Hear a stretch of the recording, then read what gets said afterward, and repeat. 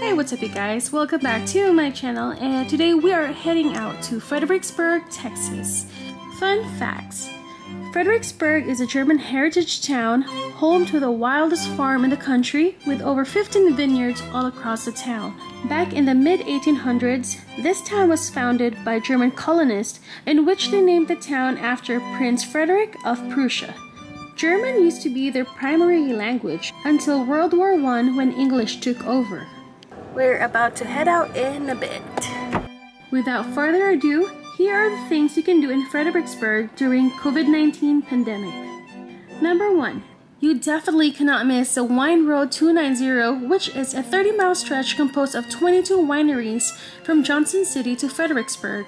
There are tour companies that will gladly give you a luxury wine tasting tour, but since we were only going to be there for 24 hours, we decided to skip it. But if you do have extra time, make sure you call for reservations. Number 2. La Quinta might be the best place if you only have a day or two in Fredericksburg because it's only 5 to 7 minutes drive to the marketplace. Number 3. One of the German restaurants you must dine at is the Auslander. I've read so many reviews about this place and 98% said they have the best authentic German cuisine in Fredericksburg and boy, they did not disappoint.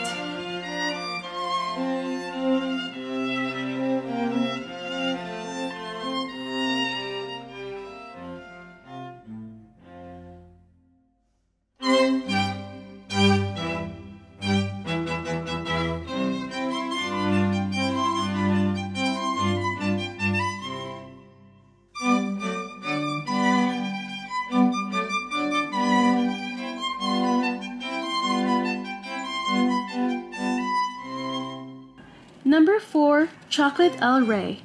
This place had been producing award-winning gourmet chocolate since 1929 using the finest cacao beans from Venezuela.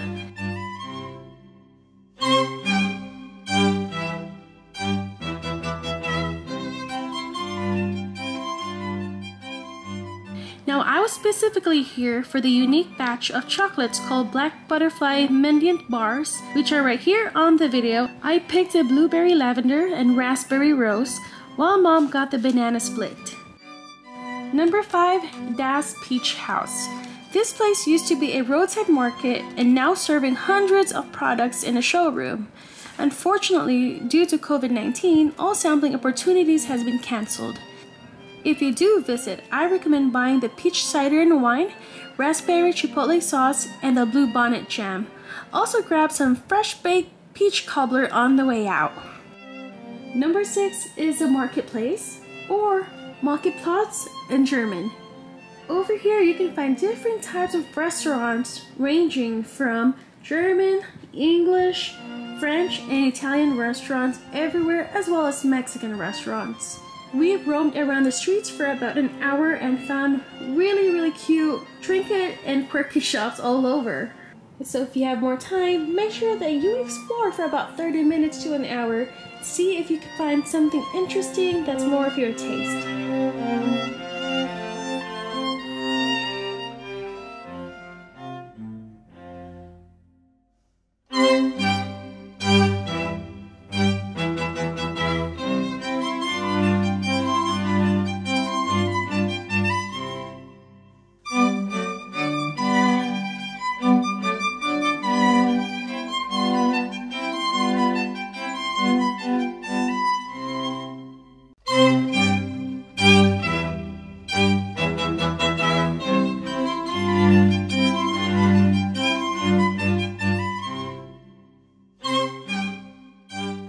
7 is Der Lindenbaum restaurant.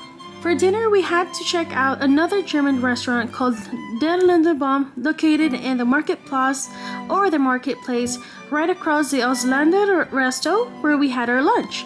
There's also a large selection of German beers and Texas wines. Make sure that you don't miss the homemade cakes for dessert.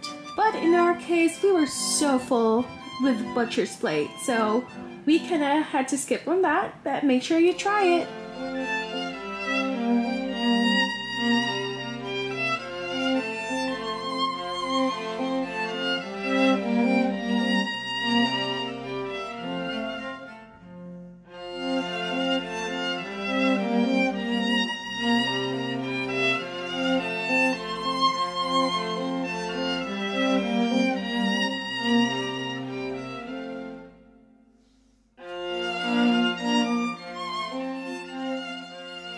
Alright, that is it for today, you guys. I hope you enjoyed this content. Make sure you smash that like button and subscribe for more videos like this. Bye!